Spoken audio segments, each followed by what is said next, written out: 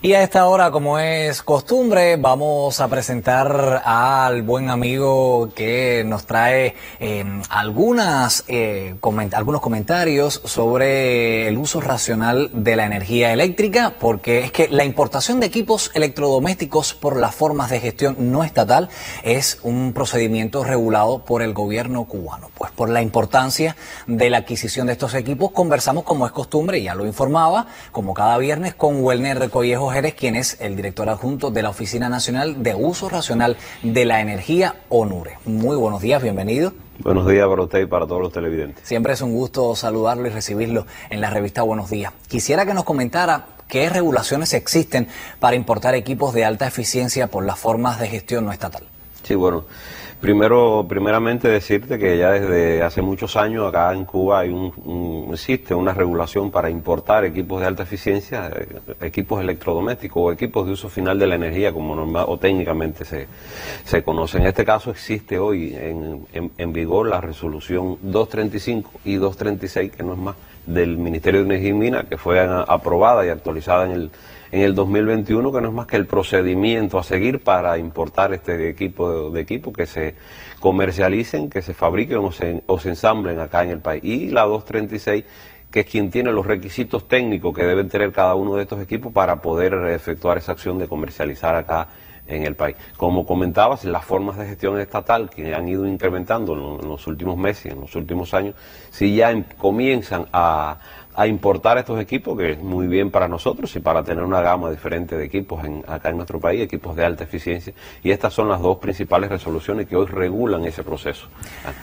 Welner, se impone una pregunta. ¿Qué requisitos debemos tener en cuenta para la importación de estos equipos de, por dichos actores económicos? Sí, primeramente decir que, que, hasta el momento, es decir, todavía las formas de gestión no estatal eh, no están autorizadas a la importación de estos equipos. Tienen que hacerlo a través de una de las importadoras que ya están establecidas y aprobadas por el Ministerio de, Comercio Exterior. Estas importadoras son las que están de frente o, tienen nuestras relaciones con nuestra oficina y son las que se encargan de gestionar estos permisos.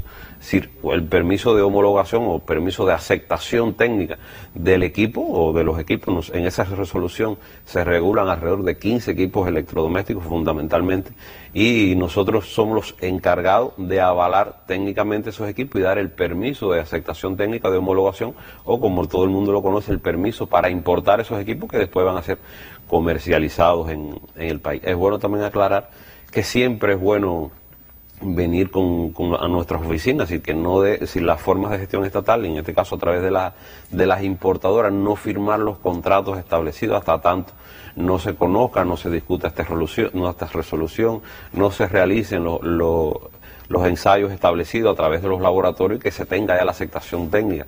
Porque si se ensaya un, un equipo ese no pasa esa prueba, son varios ensayos de laboratorio que se le hacen, para garantizar que tenga la calidad requerida para después comercializar. Estamos hablando de la eficiencia energética, de la tropicalización que es fundamental para nosotros acá en, en, nuestro país y bueno, la seguridad eléctrica. Entonces se incurriría en que, que nosotros no emitamos el permiso y después eso, bueno, afecte económicamente no solamente a quien lo está importando, sino al país, porque al final lo que se busca es el beneficio de todos acá en el país. Eso es muy fundamental, es decir, no someterse directamente a una contratación, a una relación contractual entre la forma de gestión estatal, la importadora, el, el proveedor, hasta tanto no se conozcan, no se ensayen y, no sepamos. O sea que las personas naturales no pueden hacer estas importaciones. Sí, en el caso de las personas naturales vienen por otro canal, que en otros espacios lo estaremos, lo nos estaremos dedicando a ello. Es solo un avance de lo que será en otros espacios. Quisiera preguntarle qué orientaciones le puede ofrecer a las formas de gestión no estatal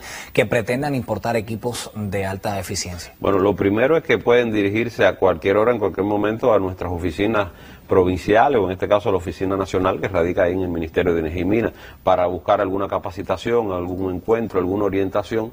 Lo segundo es que nosotros mensualmente en la, en la página oficial www.onure.co.co publicamos los equipos que están homologados y aprobados a importar en el país. Vamos a reiterar la dirección. www.onure.co.cu. Esa es la página de, de la ONURE. Ahí pueden encontrar con una actualización mensual del listado de equipos de marcas y modelos que están homologados a nuestro país. Y no siempre, nosotros siempre exhortamos a, todas aquellas importadoras que se dediquen a esta actividad a, que prioricen estas marcas y modelos. ¿Por qué? Porque ya están homologados, están probadas en nuestro país y que es es más cómodo, más fácil transitar. Son muchas marcas, si no, no son pocas, son muchas marcas y modelos que existen, eh, que se comercializan acá y siempre esa es la sugerencia de no, no interfieren que quieras o no importar otras marcas y modelos. Eso es a gusto del consumidor, como normalmente siempre se dice. Pero bueno, lleva un proceso de aprobación, de homologación, de permiso y trámite que si lo puedes hacer con las que ya están, bueno, pues mucho más cómodo. Y, y nosotros damos fe de que eso está, es decir, de que funcionan perfectamente. Que están en óptimas condiciones. Exactamente. Entonces, eh, la próxima semana estaremos conversando sobre la importación de estos equipos en el sector oh, privado, o sea, en el sector con las personas no naturales, o sea, naturales, ¿cierto? Exactamente, sí, con las personas naturales, todo aquel que venga y que quiera importar algún equipo, vamos a estar también conversando sobre esa Pero no vamos a hacer, no, vamos a hacer spoiler, como se diría en buen cubano. Pues muchísimas gracias, nosotros vamos a una pequeña pausa y en breve regresamos.